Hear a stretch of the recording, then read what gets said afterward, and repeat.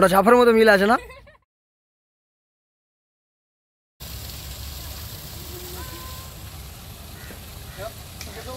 হুম।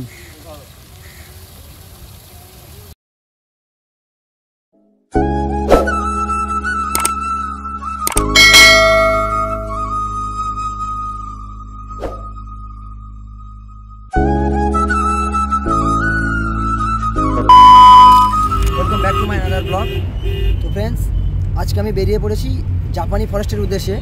ওটা ইকো পার্কে মেনলি আছে। তো আজকে আমার সাথে আছে আমার একটা friend Asim.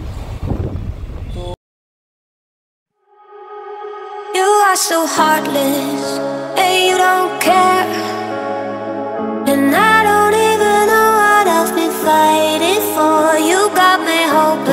আমরা এখন বিশ্ব বাংলা গেট ক্রস করে নিয়েছি আমরা এখন ইকো পার্কের উদ্দেশ্যে রওনা দিয়েছি। আপনারা কীভাবে আসবেন আমি ওখানে নেমে আপনাদের কাছে শেয়ার করব। ভিডিওটা পুরোপুরি দেখুন। তো ফ্রেন্ডস আপনারা যারা এখানে আসবেন এই ইকো পার্কে এর আগে আমি একটা ভিডিও দিয়েছি আপনারা ভিডিওটা দেখতে পারেন। তা নাহলে আপনারা পার্ক সার্কাস থেকে আসতে পারেন। তো আপনারা এমনি বাসে আসতে পারেন। বাসে করে আপনারা বিশ্ববাংলা গেটে নামবেন ওখান থেকে ইকো পার্ক চলে আসবেন। আর জাপানি ফরেস্টে আসার জন্য মেনলি আপনাকে তো জাপানি ফরেস্টে আসতে গেলে মেনলি আপনাদের এক নম্বর গেট থেকে প্রবেশ করে তো লেফটে যেতে হবে তা বাম দিকে যেতে হবে। তো আমরা দু নম্বরে এসেছি, কারণ আমার একটা বন্ধু আছে। তো এই জাপার ভাইয়ের জন্য মেনলি আমি দু নম্বর গেটে এসেছি। তো আপনারা দু নম্বর গেট থেকে ঢুকে লেফটে যাবেন, অর্থাৎ বাম দিকে যাবেন। তো চলুন আজকে আমার সাথে।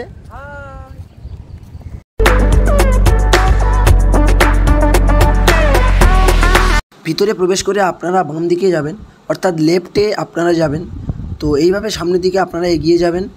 জাপানি ফরেস্টের মধ্যে প্রবেশ করব, ভিতরে কি কি আছে আমি আপনাদেরকে দেখাবো। তো চলুন আমার সাথে। ইকো পার্কের এক নম্বর গেট দিয়ে প্রবেশ করে আপনারা বাম দিকে সোজা এগিয়ে আসবেন। দেখতে পারবেন জাপানি ফরেস্ট। এখানে প্রবেশ করতে গেলে কোনো এন্ট্রি ফি লাগে না।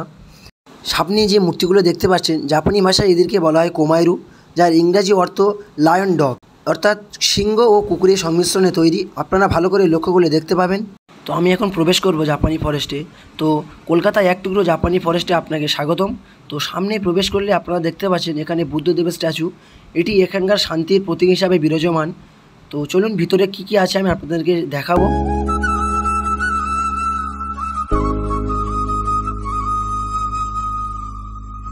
আপনারা যারা ইকো পার্কে আসবেন, আপনারা জাপানি ফরেস্ট থেকে একবার ঘুরে যাবেন।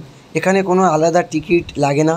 তো টাইমিংয়ের ব্যাপার ইকো পার্ক যেমন মন্ডেতে বন্ধ থাকে, তেমনই এটা অফ থাকে। তো খুবই একটি ভালো জায়গা, তো আপনারা আসবেন।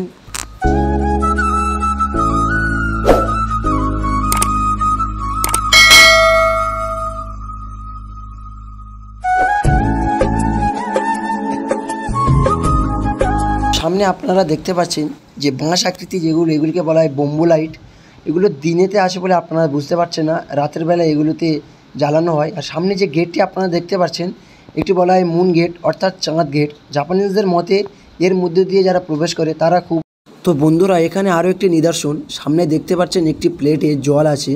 তো জাপানিজদের মতে, এখানে নিজেকে কিছু উইশ করে এখানে টাকা দিলে, তো তার উইশ পূরণ হয়। তো আমার অসীম ভাই দেখতে পাচ্ছেন, নিজে দিয়েছে, জানি না কি উইশ করে দিয়েছে। তো সামনে যে রেড কালার এটি দেখতে পাচ্ছেন, এটিকে বলা হয় স্যাডেড ওয়ার্কওয়ে বলা হয়, মানুষ যখন এর মধ্যে দিয়ে প্রবেশ করে, তার নেগেটিভ চিন্তা দূর হয়ে যায় এবং পজিটিভ চিন্তা তার মধ্যে প্রবেশ করে।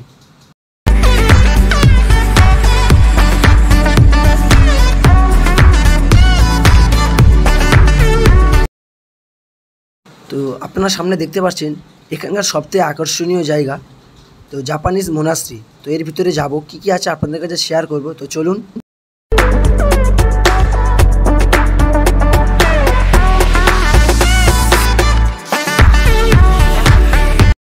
তো এগুলো দেখতে পাচ্ছেন, এগুলো সম্ভবত হাত দিয়ে ঘোরানো হয়। আর জাপানিজদের মতে এগুলো ঘোরাতে ঘোরাতে নিজেকে নামে কিছু উইশ করলে সেগুলো পূরণ হয়।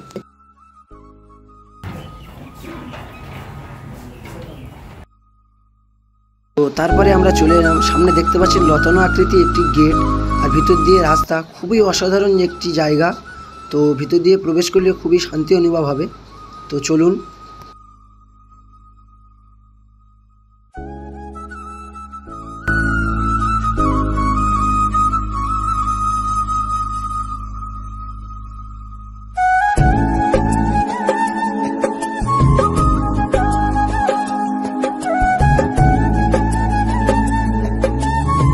এখন সামনে দেখতে পাচ্ছেন এগুলিকে বলা হয় স্মল বুদ্ধা এগুলো আলাদা আলাদা মানুষকে রিপ্রেজেন্ট করে। বলা হয়েছে এগুলিকে ভালোভাবে দেখলে নিজের কোনো না কোনো ফেস এখানে লক্ষ্য করা যায়।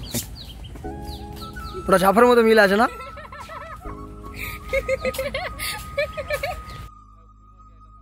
তো জাপানি ফরেস্ট ঘোরা শেষ হয়ে গেছে। তো জাপানি ফরেস্ট থেকে বার হয়ে আপনারা দেখতে পারবেন বাম দিকে জাপানি রেস্টুরেন্ট আপনারা এখানে আসলে এই রেস্টুরেন্ট থেকে কিছু খাবারও ট্রাই করতে পারেন।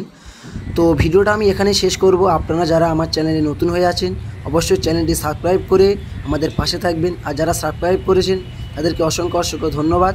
তো দেখা হচ্ছে অন্য কোনো ভিডিওতে